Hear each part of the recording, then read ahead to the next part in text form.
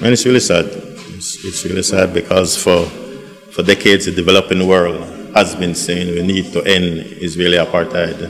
And the developed world, world has just closed their eyes, their ears, everything um, to what's been going on there.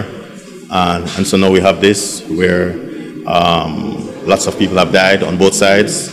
A lot more will die, it seems. Like um, uh, we were kind of hoping that there'll be a de-escalation at some point but um, realistically speaking, I don't know that that is going to happen anytime soon. So until that happens, you're talking about a lot, a lot, a lot of people being killed, a lot of innocent people, a lot of men, women, and children who um, just want to raise their children, who just want to have a piece of the earth that they believe is theirs to, to raise their families and to ensure that the generation that comes after does better than their generation.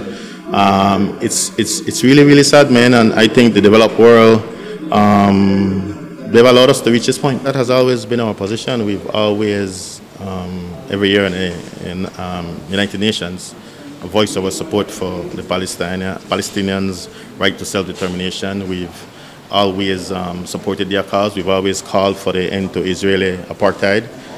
But where we are right now is um, it's really, really bad, man. It's really, really bad. And uh, I can't begin to imagine what's going on there.